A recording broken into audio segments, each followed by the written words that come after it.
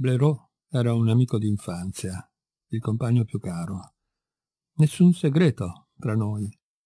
Ci legava un'amicizia profonda dei cuori e delle menti, un'intimità, una fiducia assoluta l'uno nell'altro. Mi confidava ogni più delicato pensiero, perfino quei piccoli scrupoli di coscienza che osiamo a malapena confessare a noi stessi. Io facevo altrettanto con lui. Ero stato il confidente di tutti i suoi amori. Gli avevo confidato i miei. Ci consolavamo insieme, ci abbracciavamo. Quando mi annunciò che stava per sposarsi, ne fui ferito come da un vero tradimento. Sentii che era finito quell'affetto che ci univa così intenso e assoluto.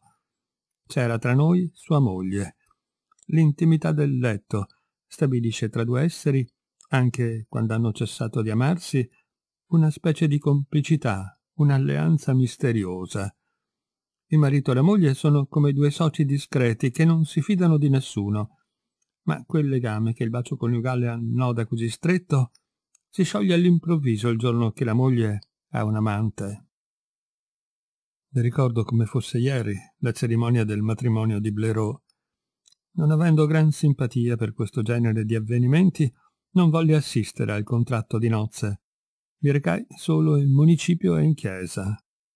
La moglie, che non conoscevo affatto, era una ragazza alta e bionda, piuttosto sottile e graziosa, con gli occhi pallidi, capelli pallidi, colorito pallido, mani pallide.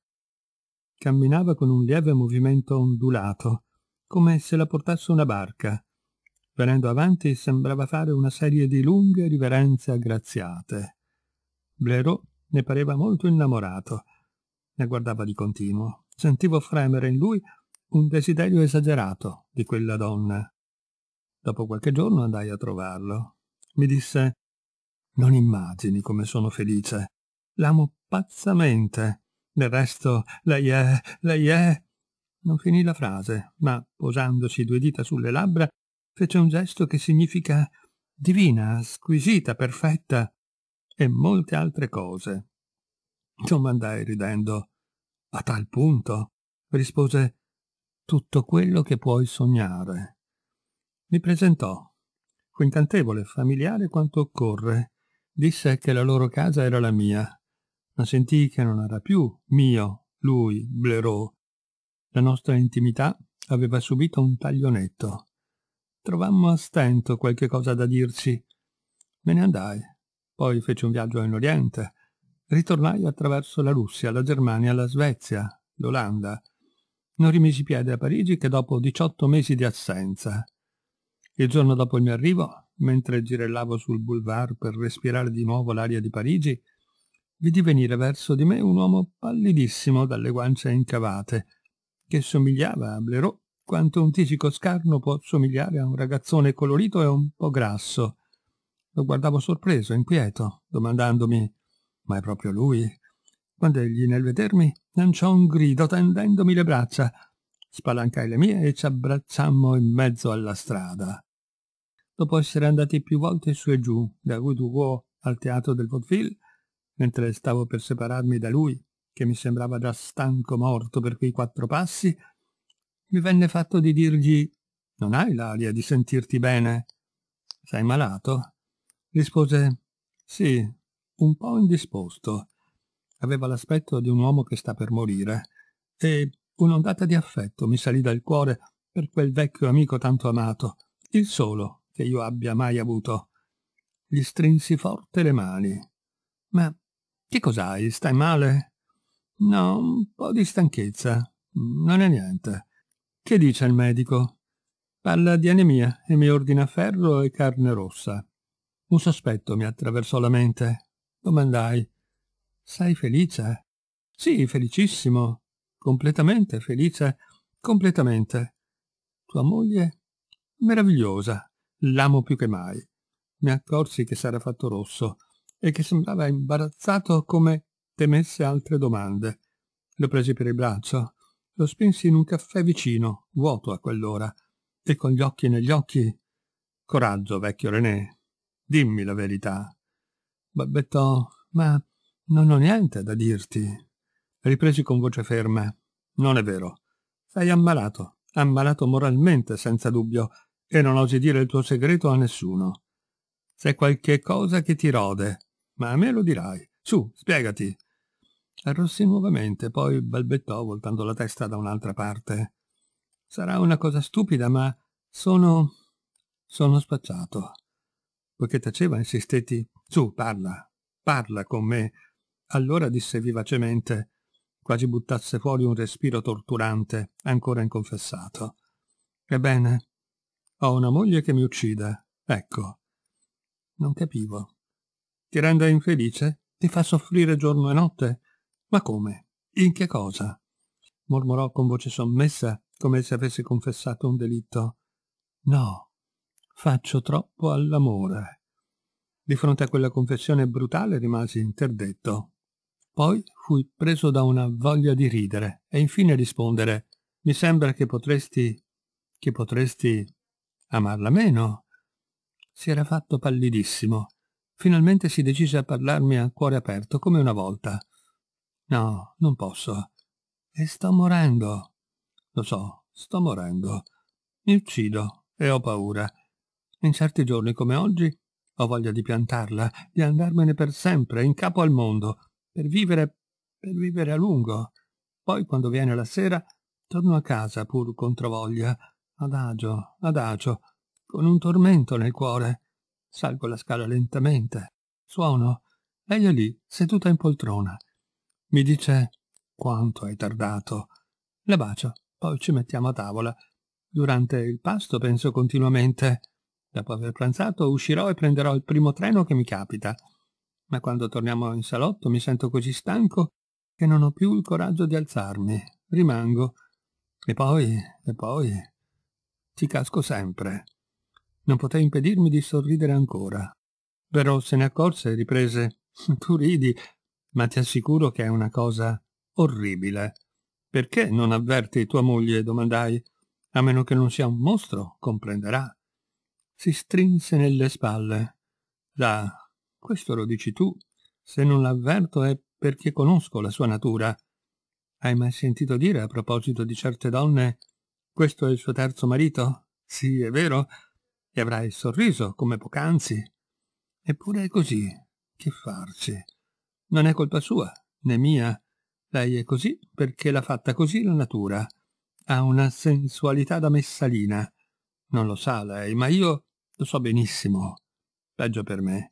È deliziosa, tenera, affettuosa, trova naturali e moderate le nostre folli carezze che mi esauriscono, che mi uccidono. Sembra una collegiale ignara, ed è veramente ignara, povera piccina. Oh, tutti i giorni prendo qualche risoluzione energica, perché vedi bene che muoio. Ma basta uno sguardo dai suoi occhi, uno di quegli sguardi nei quali leggo il desiderio ardente delle sue labbra e soccombo subito dicendo tra me è l'ultima volta. Non voglio più saperne di questi baci mortali. E poi, quando ho ceduto nuovamente, come oggi, esco e cammino senza meta, pensando alla morte, dicendomi che sono spacciato, che è finita. Ho la mente così turbata, così malata che ieri sono andato al Père Lachaise. Guardavo tutte quelle tombe allineate come pedine di domino e pensavo presto sarò qui. Sono tornato a casa decisissimo a fingermi ammalato, a evitarla. Non ho potuto. Ah, tu non sai. Domanda a un fumatore avvelenato dalla nicotina se può rinunciare alla sua abitudine deliziosa e mortale. Ti dirà che ha provato cento volte senza riuscire e soggiungerà tanto peggio, preferisco morire. Io sono così. Quando si è presi nell'ingranaggio d'una passione o di un vizio simile, bisogna lasciarsi andare, sino alla fine. Si alzò, mi tese la mano. Mi invadeva una collera tumultuosa, una collera astiosa contro quella donna, contro la donna, questo essere incosciente, affascinante, terribile. Vero s'abbottonava il soprabito per andarsene. Gli gridai brutalmente in faccia, ma per Dio, piuttosto che lasciarti ammazzare così, trovale un amante. Fece nuovamente spallucce, senza rispondere, s'allontanò. Passarono sei mesi senza che lo vedessi. Aspettavo tutte le mattine di rivedere una partecipazione che mi invitasse al suo funerale, ma non volevo mettere piede in casa sua, obbedendo a un sentimento complicato, misto di sprezzo per quella donna e di collera, di indignazione, di mille sensazioni diverse per lui.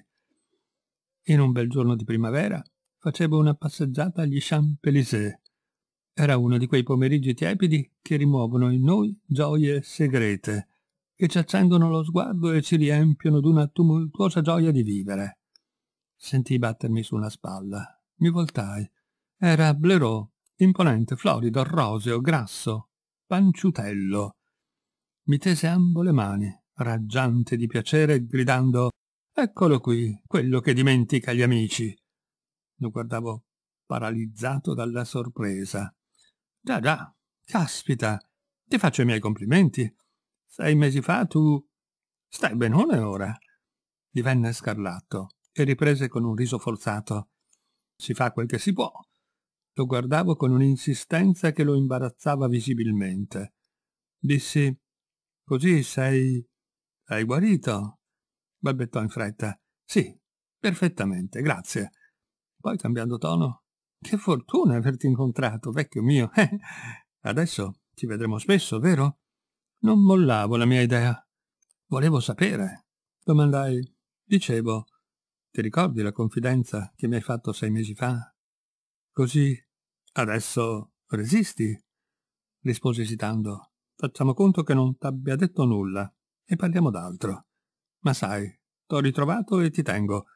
Vieni a pranzo a casa mia. Fui subito assalito da una voglia irresistibile di vedere quella sua casa, di comprendere. Accettai Due ore dopo varcavo la sua soglia.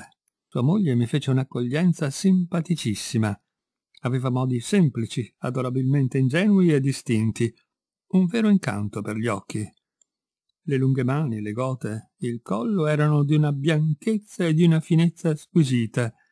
Era una carne fina e nobile, carne di razza, e camminava ancora con un lungo ondeggiare da gondola, come se ogni gamba, a ogni passo, si flettesse lievemente. René la baciò in fronte, fraternamente, chiedendo «Non è ancora venuto, Lucien?» Rispose con voce chiara e leggera «No, non ancora, carissimo. Lo sai che è sempre un po' in ritardo». Squillò il campanello. Apparve un pezzo di giovanottone, molto bruno, con le guance villose e l'aspetto di un Ercole mondano. Si presentarono, si chiamava Lucien de la Barre. René e lui si strinsero la mano energicamente. Poi ci mettemmo a tavola. Fu un pranzo delizioso, allegrissimo. René non cessava di parlarmi cordialmente, francamente, come un tempo. Era un continuo Sai, vecchio mio, dimmi un po', vecchio. Senti, vecchio. Poi esclamava ad un tratto Non ti immagini che piacere mi fa ritrovarti. Mi sembra di rinascere. Io tenevo d'occhio la moglie e l'altro. Apparivano perfettamente corretti. Mi sembrò tuttavia che una volta o due si scambiassero un'occhiata rapida e furtiva. Appena finito il pranzo, René, rivolto a sua moglie, dichiarò Cara amica, ho ritrovato Pierre e me lo porto via. Andiamo a chiacchierare come una volta, su e giù per i nostri viali. Ci perdonerai questa scappata da scapoli. Ti lascio. Del resto, Lucien. La signora sorrise e mi disse, porgendomi la mano, non lo trattenete troppo a lungo. Ed eccoci a braccetto per la strada. Allora, smanioso di sapere a tutti i costi, via, cos'è successo? Dimmi. Ma si interruppe bruscamente col tono imbronciato di un uomo tranquillo che viene infastidito senza ragione rispose Eh, insomma, vecchio mio, lasciami un po' in pace con le tue domande Soggiunse poi a mezza voce, quasi parlando a se stesso, con l'aria convinta di chi ha preso una soluzione saggia. Era troppo stupido crepare così, dopo tutto. Non insistei. Camminando svelti, prendemmo a chiacchierare, e lui d'un tratto mi sussurrò all'orecchio. Di, se andassimo a trovare qualche donnina. Hai voglia tu? Mi mise a ridere di cuore. Cosa vuoi? Andiamo, vecchio mio.